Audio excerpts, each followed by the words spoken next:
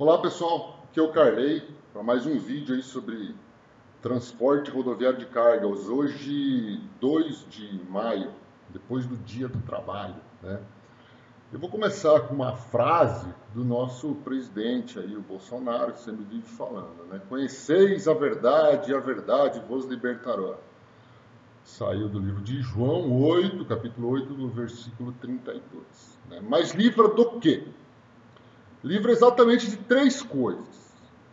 A verdade deve libertar a pessoa de três coisas: a ignorância, de não saber as coisas, os preconceitos, que acha que sabe alguma coisa sem é, conhecer a fundo, então, e essas duas coisas nos levam ao erro. Então, a ignorância os preconceitos e os erros, eles são combatidos pela verdade.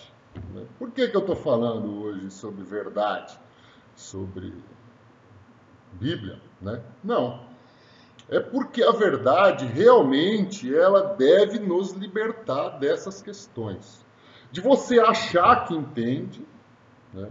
ou que você realmente não entende, só sai é, aí falando que os outros comentam, né? Você é usado como massa de manobra e nem percebe, e isso nos leva aos erros. Né?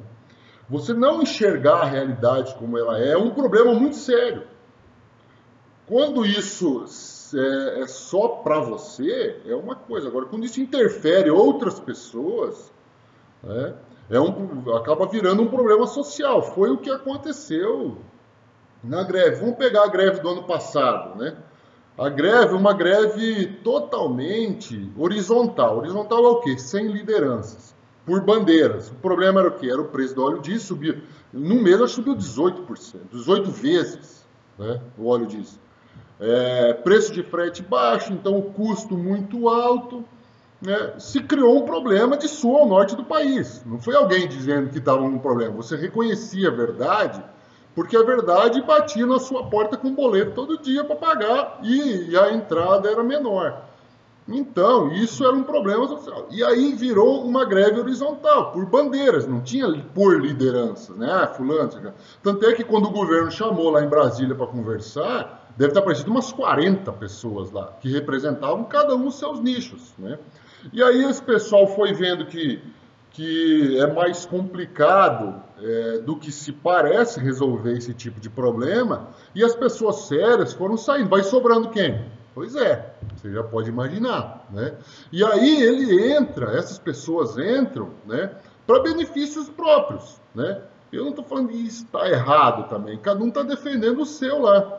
Só que o governo, quem pode tomar decisão e não entende nada de nada, apenas está ali é, por uma questão momentânea, né, ele acabou é, sendo pressionado, né, a sociedade entrou porque havia um descontentamento geral, né, e, e a greve tomou força. Né, a greve tomou força, essas lideranças foram fortificadas por isso, né, exatamente por isso, deu um baque no PIB. Né?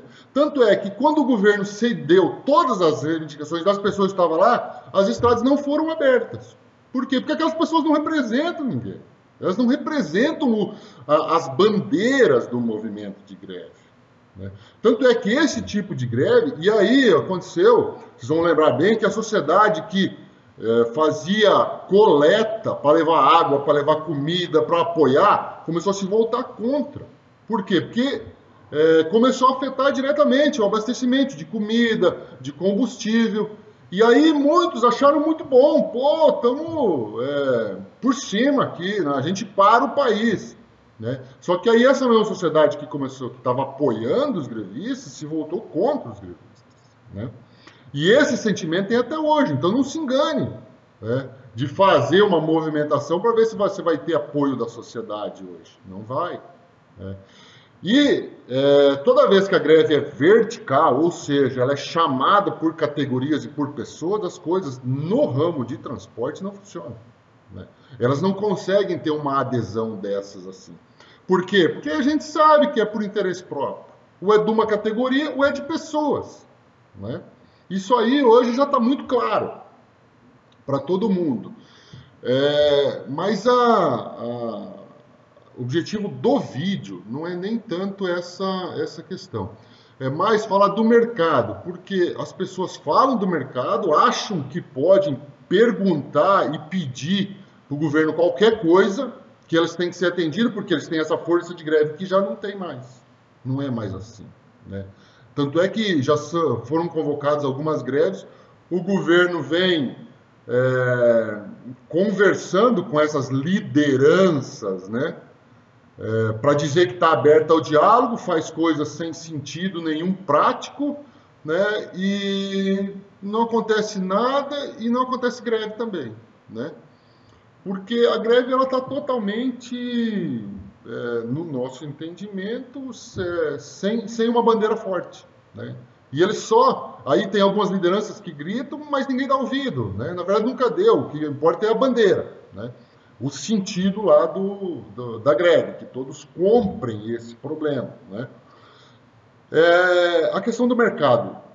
É, tem, tem pessoas que falam, que acham que podem manipular o mercado que você pode criar uma tabela de frete e empurrar a conta para um outro segmento, que isso não vai se voltar contra você. Eu já falei várias vezes sobre isso.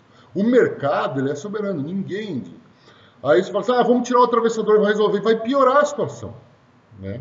Porque hoje o embarcador, ele é, usa do, do embarcador, do, do transportador de agenciamento apenas como gerador de conhecimento. Ele, ele não pergunta mais o frete para ele, né? Aí uma, algumas pessoas me mandam vídeo, me mandam áudio, escrevem, falam assim, ah, mas você nunca viu um conhecimento de frete, né? Nunca vi um conhecimento de frete. Pega ah, os conhecimentos e a, e a, lucratividade das empresas de agenciamento hoje. Né? O preço do frete, antigamente, a gente cotava. O embarcador solicitava o que essas praças aqui, esses destinos. Quanto você faz o frete? Hoje ele manda pronto. Eu falo assim, ó, você vai embarcar nesse, nessas praças aqui a esse, esse preço de frete. Sobrando lá 2, 3, 4% para o agenciador fazer toda a burocracia, emitir todos os documentos, arrumar os caminhões, né? E ainda ficar com o risco desse embarcador dar um calote. Só aqui no agro a gente teve ano passado 35 milhões de reais em calote. Tem embarcadores que pagam por 90 dias. Né? Essa conta não é colocada. Então, é, ao nosso ver, o autônomo ele está querendo privilégios, não é direitos. A lei é um direito, mas se a lei é imoral. A lei da tabela de frete é uma lei, mas ela é totalmente imoral. E, inclusive, ela é ilegal, porque ela foi instalada sem a devida prerrogativa que consta na própria lei. Ela precisava ter sido instalada com audiências públicas, como está se fazendo agora, para instalar o um novo preço. Porque ninguém vai conseguir cobrar uma daquelas multas. Então o governo vai com a NTT, gasta milhões com essa galera no campo, multando. Aí o autônomo falou assim: não, mas você não pode me multar. Né? Cara, mas que, que loucura é essa? O cara quer a tabela, aí alguém oferece menos que a tabela, ele não, ele carrega. Ele carrega. E aí ele não quer ser multado, mas a lei fala que ele vai multar. Né? Então toda essa questão de multa né, é para inglês ver. A lei não tem base legal para poder cobrar as multas. Você pode multar. Mas como é que você vai cobrar? Se a lei, inclusive, tem as, as, as questões de, de tornar a lei é, inconstitucional, o ministro da STF, Fux, ele barrou, ele segurou todos esses processos porque precisa parar esse, esse atravessar esse momento de entre safra. O governo sabe disso, a NTT sabe disso, o FUC sabe disso. Né? Após passar o momento de entre safra, vai estar todo mundo trabalhando, ninguém fala mais em nada, cada um. Eles fazem exatamente o que eles querem, não precisa mais nem dar conversa com essa meia dúzia de, de aproveitador que está indo lá conversar. Né? Então, é, as pessoas precisam conhecer a verdade. E a verdade às vezes dói. A maioria das demandas dos autônomos hoje se referem a privilégios. E privilégios não vão ser sustentáveis. Eles não se sustentam. Pega aí, as empresas do, do agro esse último mês compraram mais de mil caminhões. Quem vai ficar sem carga? É. Ninguém consegue pagar privilégio para outra classe. Né? Você paga momentaneamente, o governo abre mão momentaneamente. Não tem como você. Como alguém vai querer que, se, é, que o governo dê garantias para o seu negócio? Senão as fábricas de, de máquina de fotografia, elas deviam ter pedido isso também. Ah, eu quero que você me garanta, as pessoas têm que comprar minha máquina, não todo mundo só tem celular. As fábricas de máquina de escrever. Né? Se a sua atividade, como fala o pessoal da Prosma, se a sua atividade, se você não garante mais, se você não se garante na atividade, ou a sua atividade não garante mais a sua remuneração, você precisa arrumar outro negócio. E, infelizmente, a verdade é assim e a verdade às vezes dói. Né?